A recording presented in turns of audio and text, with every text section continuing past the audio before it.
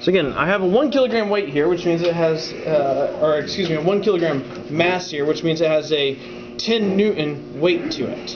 And I've attached to it one string on top and one string on bottom. Now I have a spare string on bottom tied on as well, just to save some time here with the demonstration. But uh, what I'm going to do then is I'm going to grab this bottom string, and the first time I do this, I'm going to rapidly yank down. The second time I do this then, I'm going to use my backup string uh, if I need to, but I will slowly pull down. And I should be able to pull with such a force that the strings break.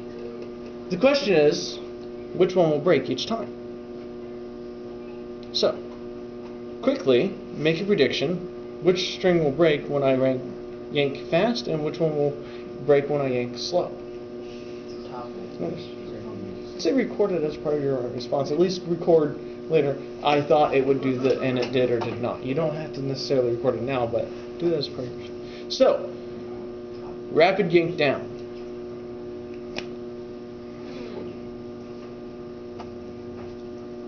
String broke. Now,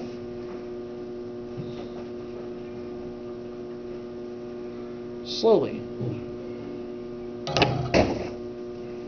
Top string broke.